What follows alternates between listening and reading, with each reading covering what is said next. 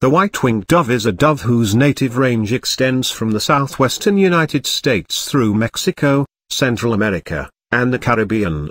In recent years with increasing urbanization and backyard feeding, it has expanded throughout Texas, into Oklahoma, Louisiana and coastal Mississippi.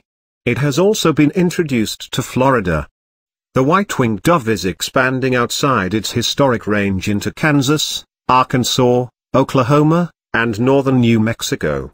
The dove's range has even expanded drastically northward into Canada.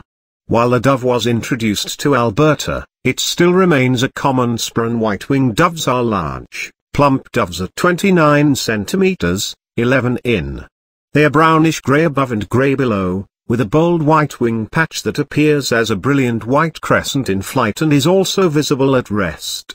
Adults have a patch of blue, featherless skin around each eye and a long, dark mark on the lower face.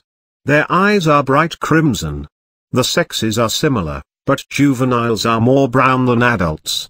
They have a blue eye ring and their legs and feet are brighter pink, red. Young also have brown eyes. Males have a slight iridescent sheen on their heads.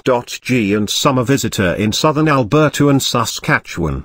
Some populations of white-winged doves are migratory, wintering in Mexico and Central America. They are year-round inhabitants in Texas.